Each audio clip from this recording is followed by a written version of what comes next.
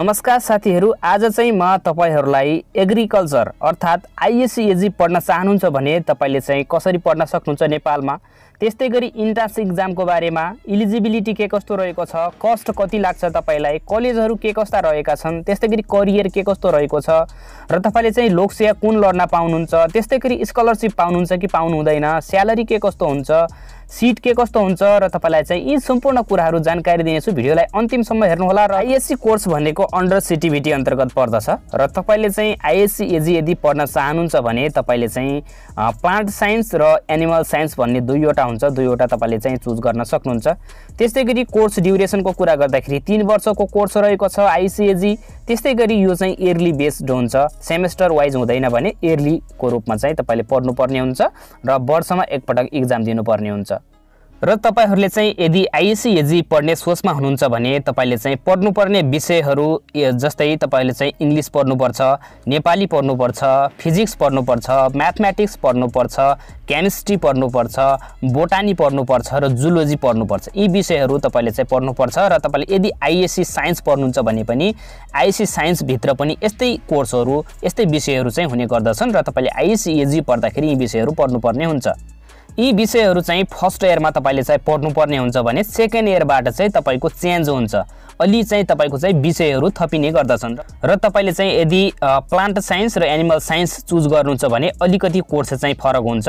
र तपाईँले चाहिँ यदि आइसिएजी पढ्न चाहनुहुन्छ भने तपाईँले चाहिँ म्याथ र साइन्समा सी ग्रेड ल्याएको हुनुपर्छ भने त्यसै गरी तपाईँले इङ्ग्लिसमा चाहिँ डी प्लस ग्रेड चाहिँ ल्याएको हुनुपर्छ एसइईमा त्यस्तै गरी इन्ट्रान्सको कुरा गर्दाखेरि इन्ट्रान्स इक्जाम हुने गर्दछ तपाईँहरूको। त्यस्तै गरी इन्ट्रान्समा तपाईँको लाग्ने फी भनेको एक हजार प्लस छ सय सोह्र सय रुपियाँ चाहिँ तपाईँलाई इक्जाम फर्मको लाग्छ।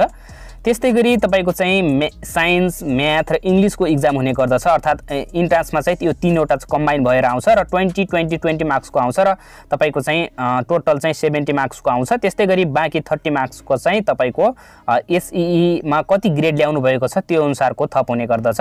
त्यस्तै गरी इक्जाम टाइम भनेको एक घन्टा तिस मिनटको हुने गर्दछ इन्ट्रान्स इक्जाम र तपाईँले चाहिँ एसईमा कति अङ्क ल्याउनु भयो भने कति पाउनुहुन्छ यसको बारेमा कुरा गरौँ। तपाईँले यदि तिन पोइन्ट छ जिपिएदेखि चार जिपिएसम्म ल्याउनुहुन्छ भने तपाईँले तिस अङ्क प्राप्त गर्नुहुनेछ। त्यस्तै गरी तपाईँले चाहिँ दुई पोइन्ट आठ जिपिए सिजिपिएदेखि तपाईँले चाहिँ तिन पोइन्ट पाँच नौ जिपिए ल्याउनु भयो भने सत्ताइस अङ्क जोडिनेछ त्यस्तै गरी दुई जिपिएदेखि दुई पोइन्ट सात नौ जिपिएसम्म ल्याउनु भयो भने चौबिस अङ्क जोडिनेछ भने तपाईँले दुई दुई जिपिएभन्दा तल ल्याउनुहुन्छ भने तपाईँको चाहिँ एक्काइस अङ्क जोडिनेछ। भने तपाईँको चाहिँ फुल पास मार्क्स हुन्छ फोर्टी। तपाईँले चाहिँ फोर्टी ल्याउनु पर्ने हुन्छ अनि मात्रै तपाईँ पास हुन सक्नुहुन्छ हन्ड्रेडमा। त्यस्तै गरी कलेजहरूको कुरा गर्दाखेरि यदि तपाईँ प्लान्ट साइन्स पढ्न चाहनुहुन्छ भने वान फोर्टीवटा कलेजहरू रहेका छन् नेपालमा भने एनिमल साइन्स पढ्नुहुन्छ भने तपाईँले फिफ्टीवटा कलेजहरू रहेका छन् नेपालमा। त्यस्तै गरी तपाईँले प्लान्ट साइन्समा तपाईँको चाहिँ छप्पन्न सय सिटहरू रहेका छन् नेपालभरि भने तपाईँको एनिमल साइन्स पढ्न चाहनुहुन्छ भने दुई हजार सिट मात्रै रहेका छन्। त्यस्तै गरी फी स्ट्रक्चरको कुरा गर्दाखेरि तपाईँलाई खर्च लाग्ने आइएससिएजी पढ्दाखेरि तपाईँलाई लाग्ने भनेको दुईदेखि चार लाखसम्म खर्च लाग्नेछ। र तपाईँको चाहिँ फर्दर स्टडीको लागि तपाईँले यदि अन्डर ग्रेजुएट कोर्स गर्न चाहनुहुन्छ भने आइएससी एजी सकिसके पछाडि तपाईँले चाहिँ बिएससी एजी अर्थात् बिएससी एग्रिकल्चर तपाईँले पढ्न सक्नुहुन्छ। र करियरको कुरा गर्दाखेरि करि यो तपाईँले आइएससी पढ्नुहुन्छ भने एकदम राम्रो करियर रहेको छ। तपाईँले चाहिँ सरकारी जागिरतिर पनि जान सक्नुहुन्छ भने प्राइभेट सेक्टरतिर गर्न सक्नुहुन्छ। तपाईँले टिचिङ गर्न सक्नुहुन्छ। त्यस्तै गरी तपाईँले सरकारीतिर जानुहुन्छ भने तपाईँको कृषि लोकसेवा हुन्छ। तपाईँले चाहिँ आइसिएजी गर्नुहुन्छ भने तपाईँले चाहिँ लेभल फोरको तपाईँले तपाईँले चाहिँ इक्जाम दिन पाउनुहुन्छ लोकसेवा मार्फत। र स्यालेरीको कुरा गर्नुहुन्छ भने तपाईँले स्यालेरी पाउने भनेको लेभल फोर चार तहले जति स्यालेरी पाउँछ त्यति स्यालेरी चाहिँ तपाईँले पाउन सक्नुहुन्छ। अर्थात् तपाईँले चाहिँ अठाइस हजारभन्दा माथि तपाईँले स्यालेरी चाहिँ पाउन सक्नुहुन्छ।